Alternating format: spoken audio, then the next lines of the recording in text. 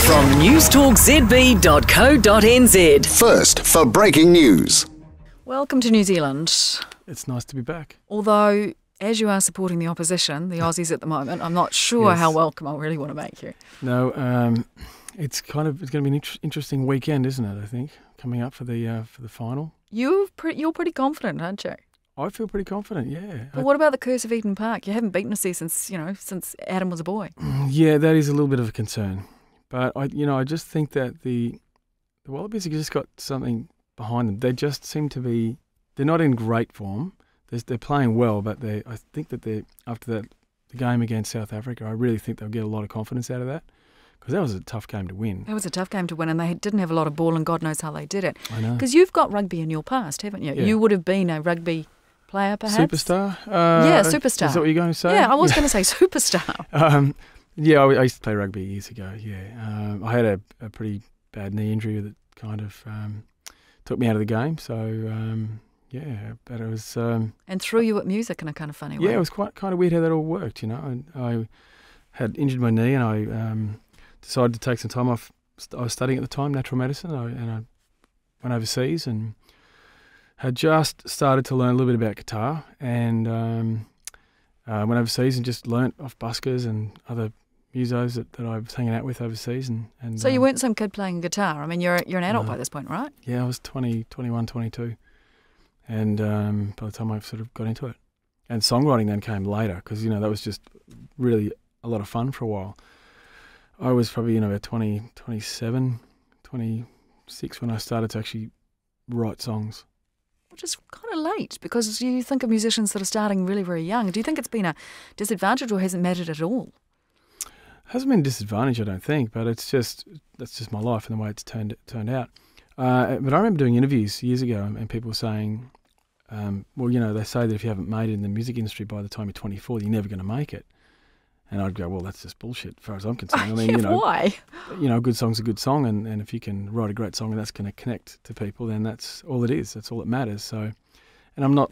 It's not like I'm a pop act. I think if you're a pop act and you, you know, you probably need your youth and your and your young looks to, to do that. But you know, But I mean, look at all those old dudes out there. Like, I mean, Tony Bennett's just released an album, hasn't he? And he's, what, 85 or something? I mean, exactly. there's plenty of lifespan left in it, I would have thought. no, and I think that's probably the the interesting thing about my story is that I started so late, and you know, by the time I was signed to a record label, I was 32. So I have a lot of people in their 30s coming up to me now, going, "Look, you know, I got a lot, get a lot of inspiration out of your story and and how you you know sort of kept going and, and had success you know later in life."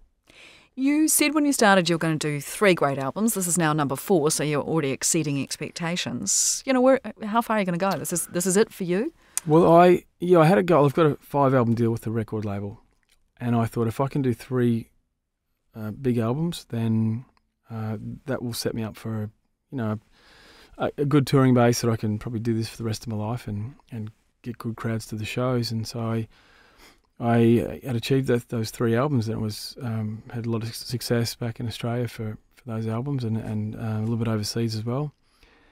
And then I came to the, the next album. I took three years off basically. Just want to have a break, and had to reevaluate everything. And I kind of, I actually thought maybe that the last two albums I'd just do acoustic harmonica albums and just you know try and just get them done. And I thought, no, you know, I really want to make this one better than what I've done before and a little different. So I was trying to, you know, I guess um, get away from my normal style of just playing on acoustic guitar and having that um, laid back style and and you know the, the the new album is a little different to that. It still has those elements, but it's just more electric and has a bit more groove to it and and you know a different feel. You enjoying it? I'm, yeah, I'm really enjoying the music, It, yeah, where you're going with it? yeah, absolutely. No, I'm I'm really enjoying the uh, getting on electric guitar a lot more, and and uh, you know the, the new the new songs are you know for me a lot lot more fun. You seem quite a relaxed character. I mean, you came to it late. You're happy to take three years off, and I guess what did you do? Surf at Byron Bay or hung out or I surfed quite a bit actually. Yeah. Yes. I mean, you're obviously quite a relaxed kind of person. Yeah, yeah, absolutely. Very laid back. Um, so uh, look, I you know, but I, I still have this because I was you know brought up with um, sport. I grew up in a small country town, and sport was everything to me. So music was later in my life, but sport was the, the big thing in my life. So I had this. Um, you have to have determination to to succeed in, in sport, as everyone would know, and I had that determination. I guess I I sort of carried that onto my music. So within myself, you know, pushing myself to continue to keep doing what I want to do, and and uh, um, you know, you need that determination there to, to achieve that. Winning in sports, well, I guess I was going to say it's different, isn't it? Because you know, you go, you win a game, you tick that box kind of thing. Mm. This is a much longer term uh, kind of thing to be involved with, isn't it?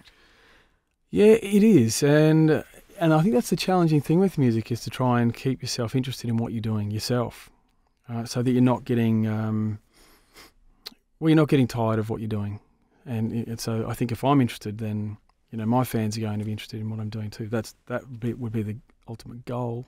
anyway, you want people to like what you're doing throughout your career, and and uh, so you know, and that's the thing. Um, to do that, I guess. I, am also sort of starting to think, well, is there something else I want to do now? Um, what are you thinking out of music? I don't know. Yeah, well, maybe. I'm not sure. But so we've had sport music. You know, maybe you should write a book or something. I mean, yeah, I'm not sure. You're not sure? Yeah who knows, become a mad scientist or something like that. okay, know. well, we'll watch the space on that one. But in the meantime, I think what we might get you to do is play us a song off the new album. What are you going to play? I'm going to play Free. I want you to stand up, fight every moment with me the truth.